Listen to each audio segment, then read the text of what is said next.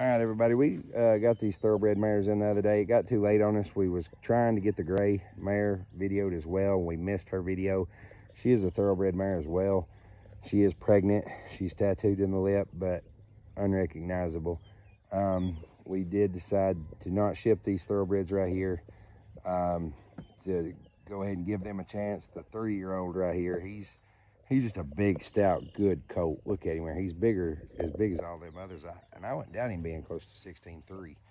Um, the mare here, we've already got a video on her, the, the sorrel mare with the, the three white socks. Um, but the gray mare, somehow we we missed her getting a video of her. Um, she's a gentle mare. She does ride. Um, I like to move for her to move around a little bit so you could see her. Um,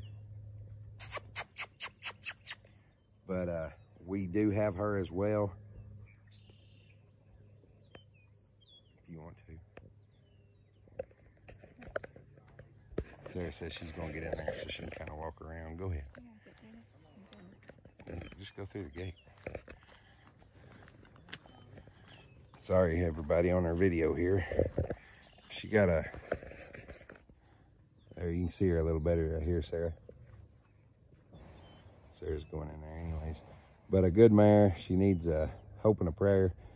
Uh, she's been used as a brood mare here recently. Um, but a nice, nice girl. Like I said, that mare there is super nice too.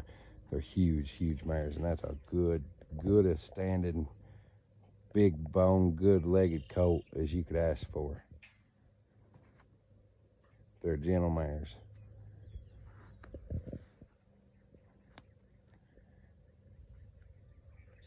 Oh, you want me to hold the phone? I thought she was going to hold the phone. It's okay.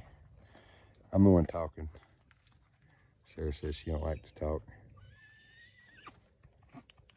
There's a little old pony over there. They don't care for her. But uh, this mare here, she's uh, you can get a good look at her here. She's got a, she's losing her old winter hair, so she's kind of patchy looking, which everything is this time of year. You see right there, she's just patchy.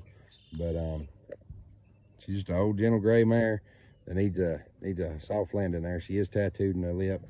It's unrecognizable. If anybody's interested in her, she is supposedly pregnant. Um, she has not been vet checked and foaled, but she is supposedly pregnant. But a really nice mare. If anybody's interested in her, price on her will be 850, 850 bucks.